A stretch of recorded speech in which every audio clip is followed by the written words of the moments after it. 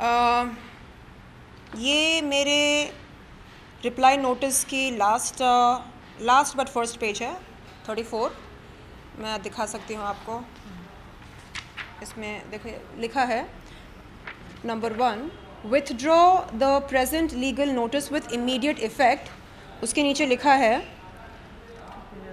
to pay a sum of 75 crores by way of compensation for mental harassment, agony, anguish, affliction, misery, trauma, acute stress and hypertension for which I am taking a medical treatment in a leading hospital in Mumbai. To pay an amount of rupees 1,50,000 towards the cost of the present reply notice.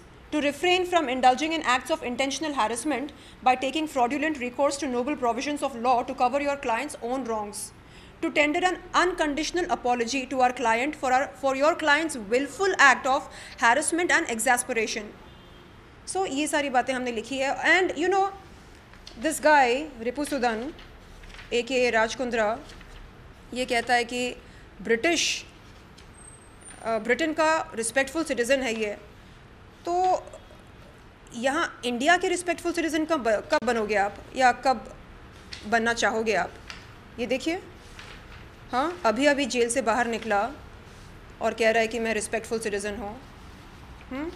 What is all this की conspirator in pornography case हाँ IPL scandal money laundering gold scam cheating insider trading, FIR lodge in Lucknow extortion case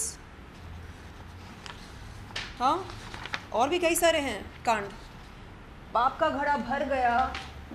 फिर भी बोलता है कि respectful citizen हो, मुझे ये अवार्ड मिला, वो अवार्ड मिला। आप क्यों नहीं चाहते कि मेरे स्टेटमेंट की रिकॉर्डिंग हो? आप क्यों नहीं चाहते कि एफआईआर दर्ज हो? आप क्यों नहीं चाहते कि जाँच पड़ताल हो? क्यों नहीं चाहते? बताओ। जाँच पड़ताल होगी तो तथ्य सामने आएँगे। तथ्यों की सत्यता की जाँच होगी। दूध का दूध, पानी का पानी होगा। तो अगर कोई कहता है कि वो निर्दोष है तो क्यों? क्यों वो रोड़ा बन रहा है? क्यों वो आ, उसको दिक्कत हो रही है?